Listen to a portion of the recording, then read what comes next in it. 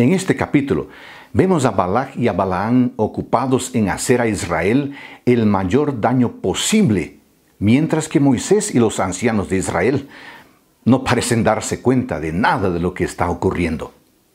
Pero Dios echa por tierra los planes del enemigo y cambia en bendición la maldición que Balak y Balaán planeaban contra el pueblo de Dios.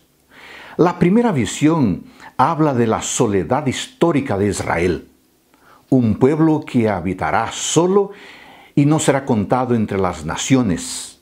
Esta profecía no solo habla de la situación de Israel en el momento, en ese momento, sino de su soledad a través de los siglos. La segunda sección se refiere al cumplimiento de la profecía hecha a Abraham sobre la multitud de sus descendientes. Balaán reveló la visión tal cual Dios se la había dado. Aquí había un pueblo bueno, no podía ser maldecido, sino bendecido. La reacción del rey fue inmediata.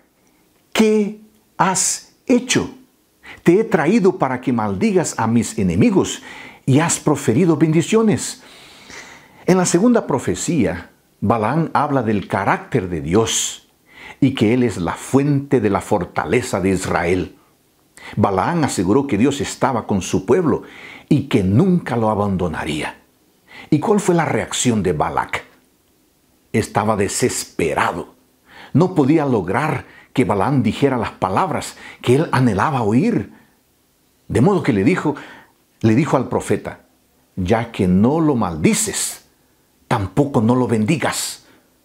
Pero Balaán le dijo, todo lo que Jehová me diga, eso tengo que hacer. Amigo y amiga, sin duda, hay gente que quiere maldecirte. Hay gente que te desea el mal.